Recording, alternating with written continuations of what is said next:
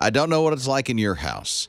In mine, and maybe it's comparable, one likes it really hot, the other likes it really cold. Thermostat wars happen all the time. Every single day. When I get home, I bump it up just a couple of degrees. So here's a brand new thing that's for the car. So if you have that dynamic in the car where somebody's got to have it hot, somebody's got to have it cold, now for the person who likes to stay warm, your your counterpart can have it cold. Yeah. Because now there's like this whole heated fleece that you plug into the car.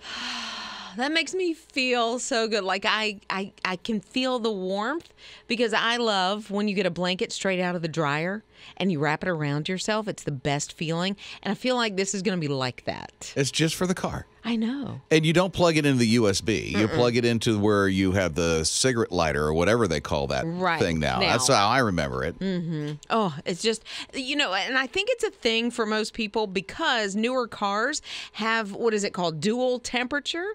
So, like in our car, if my husband's driving, he can turn it on, you know, Arctic, and then I can turn it on more um, south of the equator. Yeah, that's why tornadoes happen inside cars now because that whole dynamic. No, that's because he won't turn his up. Uh huh. I get see? upset. see, so now they have the they call it the throw blanket or whatever it is for the car yeah, and you get it on Amazon. It's not that bad. So I'm thinking I'm going to get one. or the automotive department Oh, yeah. I wouldn't think about that. That'd going be- off the Walmart or Target or something like that. So it would be right there. I don't know what it's like in your house when it comes to the hot and cold and all that other stuff, but we're kind of curious at 800 447 7234.